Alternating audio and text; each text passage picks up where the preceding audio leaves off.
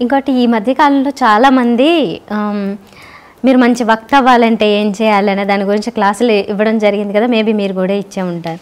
అలా అందరూ నేను చాలా బాగా మాట్లాడగలగాలి. స్టేజ్ ఫీర్ ఉండే వాళ్ళు కావచ్చు నార్మల్గా కావచ్చు ఈవెన్ యాంకరింగ్ రావాలనుకునే వాళ్ళు కావచ్చు అందరూ నేను చాలా బాగా మాట్లాడాలంటే ఎలా ఎలా నేర్చుకోవాలంటారు కొంతమంది ఇంట్లో చాలా బడబడ మాట్లాడుతూ ఉంటారు మేము యాంకర్లు అయిపోవచ్చు అనుకుంటారు. లేకపోతే ఇంకోటి ఇలాగా అవ్వాలనుకుంటారు సరే అసలు ఎవరికి ఆ క్వాలిటీ ఉంటుంది అంటారు ఇప్పుడు మిమ్మల్ని చూసి ఇన్స్పైర్ అయ్యి చాలామంది నేను కూడా ఒక మంచి మోటివేషనల్ స్పీకర్ని అవ్వాలి అనుకుంటే అవ్వగలుగుతారా అంత ఈజీగా? అంటే పర్టిక్యులర్గా మోటివేషనల్ స్పీకర్ లేదా స్పీకర్ వక్త అనే దాని గురించి మాత్రమే మీ ప్రశ్నని కన్ఫైన్ చేస్తే ఎవరు ఎవరైనా ఇక్కడ ఎవరైనా ఇక్కడ అన్ని పనులు చేయలేరు. ఎవరైనా ఇక్కడ ఇంకొకలా చేయాలని కూడా తప్పు. టెండూల్కర్ టెండూల్కరే. పివి సింధు పివి సింధే. మెగాస్టార్ చిరంజీవి మెగాస్టార్ చిరంజీవే. మోడీ మోడీయే. కేసీఆర్ కేసీఆరే. కొంతమంది రాజకీయాలు కొంతమంది ఆటలు కొంతమంది సినిమాలు ఇలా. కాకపోతే నీలో నేను మోటివేషన్ స్పీకర్ అవ్వాలి అనుకోవడానికేను నాలా నేను మోటివేషన్ స్పీకర్ అవ్వడానికి తేడా ఉంది. ఓకే. అలా సింప్లిఫై చేసి చెప్పాలి అంటే మనందరము కూడా చేసే చిన్న మిస్టేక్ ఏదైనా ఉంది అంటే ఇతరుల్లా ఉండాలనుకుంటాం. కాదు.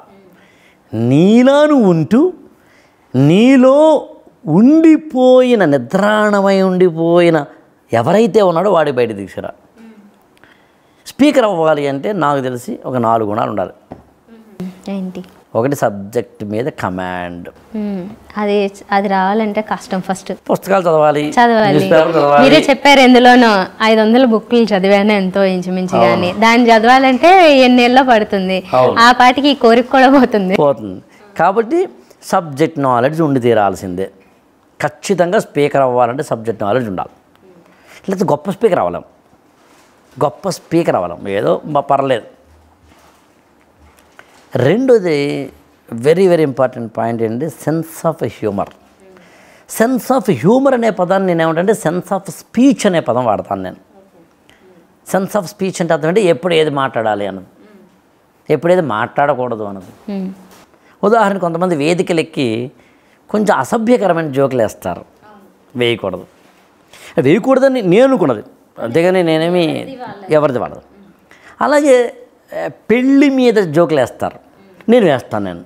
నేను నేను నేను నేను స్టేజ్ ఎక్కిన తర్వాత అక్కడున్న సిచ్యుయేషన్ బట్టి మ్యారేజ్ మీద జోక్స్ వేస్తాను నేను. కానీ ముందో చివరిలోనో సారీ చెప్తాను నేను. ఏమండి?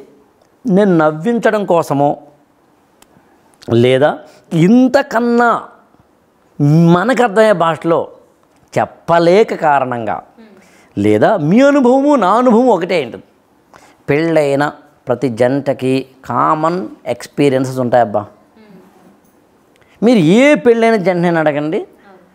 ఒక్కసారైనా అనవసరంగా పెళ్ళి చేసుకున్నాను రాబాయ్ అనుకోలేదా? ఒక్కసారైనా. మొగుడైనా సరే పెళ్ళమైనా సరే.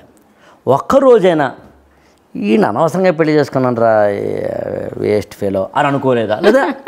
లేదా వైస్ వెర్సా? ఓకే. ఛీ ఈ పిల్లల్ని కానీ ఏందో నా బతికి అంతే ఎప్పుడు అని అనుకోలేదా? కామన్ ఎక్స్పీరియన్స్ మాట్లాడుతున్నాను. గ్రేడింగ్ తేడా ఉండి ఉండొచ్చు. కొంతమందికి ఏమో రోజుకి వంద సార్లు అనుకుంటే కొంతమంది వంద రోజులకు ఒకసారి అనుకోవచ్చు. గ్రేడింగ్ తేడా తప్ప అనుకోవచ్చు. Common experiences. మీ నా కామన్ ఎక్స్పీరియన్సెస్ సమానమైతేనే అప్పుడు నాకు ఈజీ అవుతుంది కాబట్టి నేను తీసుకున్నాను అని చెప్తాను. ఎందుకంటే కూర్చున్న వాళ్ళందరికీ ఆ అనుభవాలు నా అనుభవాలు. అదే కాలేజీకి వెళ్ళినప్పుడు నా అనుభవాలు కాలేజీ అనుభవాలు చెప్తాను నేను. ఎందుకు చెప్పను? కాలేజీకి వెళ్ళినప్పుడు నేను ఖచ్చితంగా నేను కాలేజీలో చేసిన అల్లరి చెప్తాను నేను. ఎందుకంటే నీ అనుభవం నా అనుభవం ఒకటి కాబట్టి అక్కడ. అది సెన్స్ ఆఫ్ స్పీచ్ అనే పదంతో చెప్తాను నేను. మూడవది వెరీ వెరీ ఇంపార్టెంట్ పాయింట్ ఏంటంటే సిచ్యుయేషనల్ స్పీచ్ అనండి కంటెంట్ అనండి బిహేవియర్ అనండి ఏదైనా అనండి. సిచ్యుయేషన్కి అనుగుణంగా ఉండాలి. అక్కడ ఎవరున్నారు అనే దాన్ని బట్టి. ఒకసారి నన్ను క్యాన్సర్ పేషెంట్స్ ఉన్న హాస్పిటల్కి తీసుకెళ్ళారు. ఓకే. రోటరీ సంప్రదాయ అని ఒక సంస్థ ఉన్నారు వారు తీసుకెళ్ళారు. ఓకే. అక్కడ సాంగ్స్ ప్రోగ్రామ్ అని నా నా స్పీచ్ కూడా పెట్టారు. వాళ్ళందరూ పండుటాకులు నేడో రేపో రాలిపోయే వాళ్ళు. అందరూ. అది ఒక బంజారీల్స్లో ఉంది. అక్కడ ఏం మాట్లాడాలి?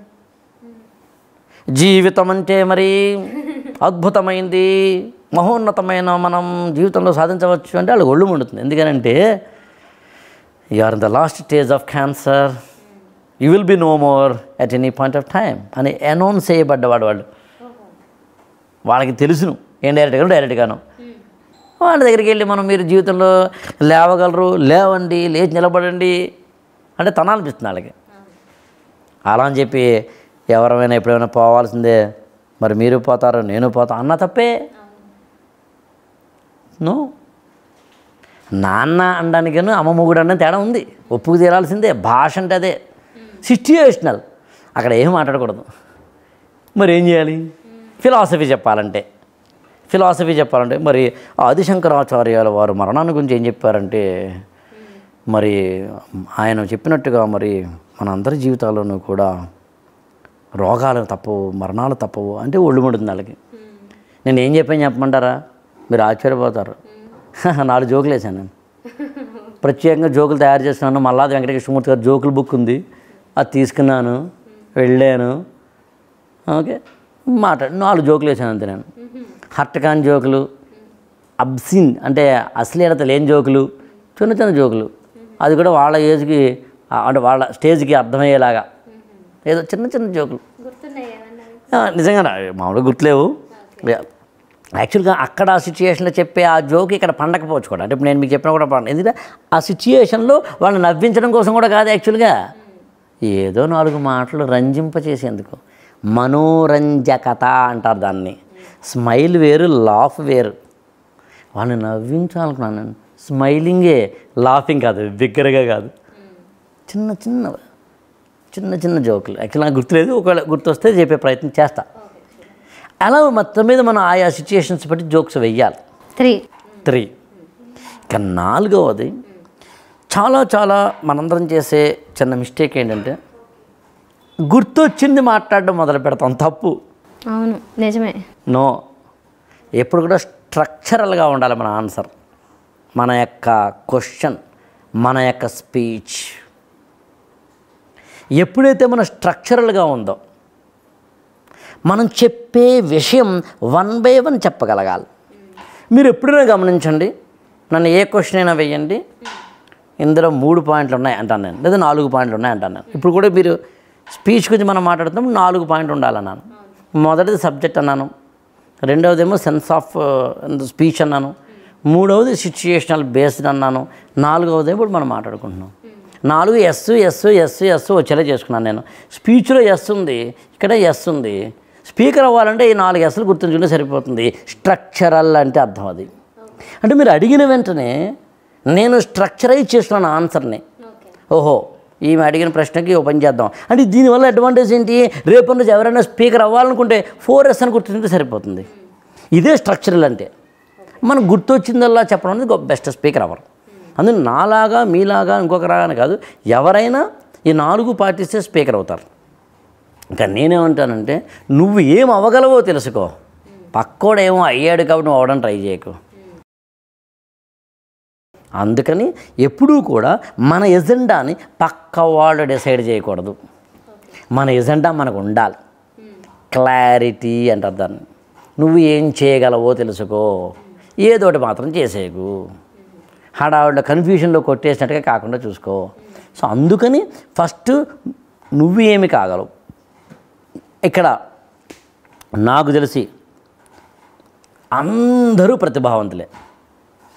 Everyone is a talented person gifted by birth ఉంటుంది. కానీ గనిలోంచి తీసిన బంగారాన్ని కూడా యాజిటీస్గా వాడం. కొంత కడుగుతాం. దాన్ని మళ్ళీ నెక్లెస్గాను వడ్డాణంగాను చేస్తాం. అలా ప్రతిభతో పుట్టిన ప్రతి ఒక్కడు ఇక్కడ తనను తాను మలుచుకోవడంలోనే ఉంటుంది. సెల్ఫ్ అంటే అభ్యాసము అంటాం స్వయం సాధన అంటాం. అన్నిటికన్నా మించి బంగారం అయితే నెక్లెస్ అవుతావు మట్టి అయితే వినాయకుడి విగ్రహం అవుతావు. వేస్ట్ అయితే అవవు. Simple logic